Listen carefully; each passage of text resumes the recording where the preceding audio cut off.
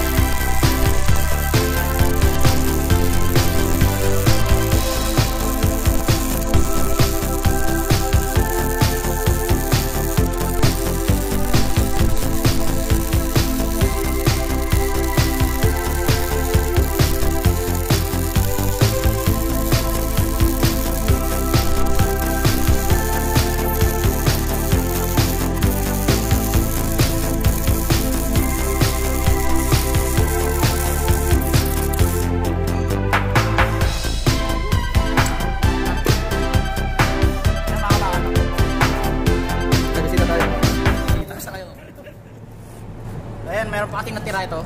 Ayan. Ayan, weweldingin ko pa yan. Ito yung winelding natin kanina. Ayan, tapos ito pa. Ayan, weweldingin ko pa yan. Ilalim niya, na-welding ko na. Ayan, pati, pati yung loob. Ayan, sa baba pa yan. Wewelding ko pa sa baba. So yun mga kabakal, kung nagustuhan nyo tong video na to, please like, share, and subscribe. At kung hindi mo pa napindot yung notification bell, pakipindot mo na rin para palagi kayong updated sa aking mga video. Yan, maraming salamat sa inyo.